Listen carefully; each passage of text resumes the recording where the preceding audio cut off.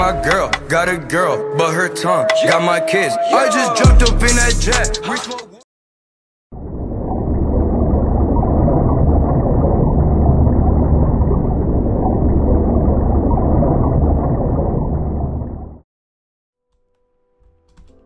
Once upon a time, there was a dolphin. But he was alone in this world. Ever since he was born, he had lived by himself. He had encountered problems by himself. He had lived his entire life by himself, and he is the age of a ripe 10 years old now. For dolphins, that's more than humans, by the way. So imagine growing up, you know, since a child, not even knowing where or how you were born. Not even see, you can't even see what your kind looks like. And he grew up. And he lived through this entire environment. But it wasn't that bad. Because he was always safe. But the only problem was he was always lonely. Always lonely.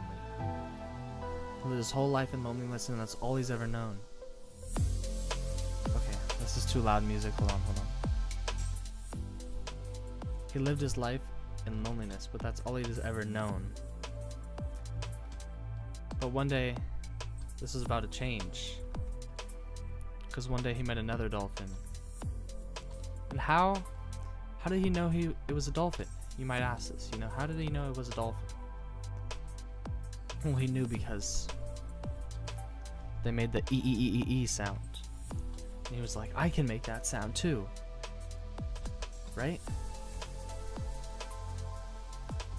And his life changed. His entire perspective on life changed. Because now he was with something, someone, you know, another dolphin, something of his kind for once in his life. And he finally understood what it meant to be a dolphin. You see, this person, this dolphin, they taught him more than just what a dolphin is. They taught him how to live life. They taught him how to care for other dolphins. They taught him the importance of living, more than just survival. The fun you could find when they went on adventures together. They would explore caves, underground cave, underwater caves that they'd never seen before together. They did all these things together. They grew closer and closer and closer. And these two dolphins became best friends. But one day, one day this dolphin went through something that no other dolphin should go through. This dolphin's best friend, only friend, was caught by fishermen. And these fishermen weren't the friendliest of fishermen, alright? These fishermen were the kind that abused. And once that dolphin got trapped in that net, there was nothing anybody could do. But the fishermen, the fishermen didn't, decided not to kill this dolphin. Because that would be too easy. That would be way too easy. No, no, no. What the fisherman did was way more cruel. But the fisherman left the dolphin there, in the water, skin tampered with, rips across the skin. But left the dolphin alive, suffering in its own bloody misery. And the dolphin, the first one who was alone, was once again going to be alone again. But this dolphin could not go through that again. They cannot live with this again once they've found a new way of life. They can't live by themselves. So this other dolphin, the one in pain, the one on the verge of death, they took the lonely dolphin to a new place. A dolphin. A dolphin haven of some sort.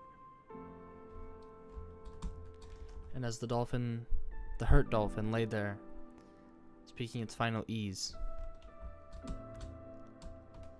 the lonely dolphin was no longer lonely.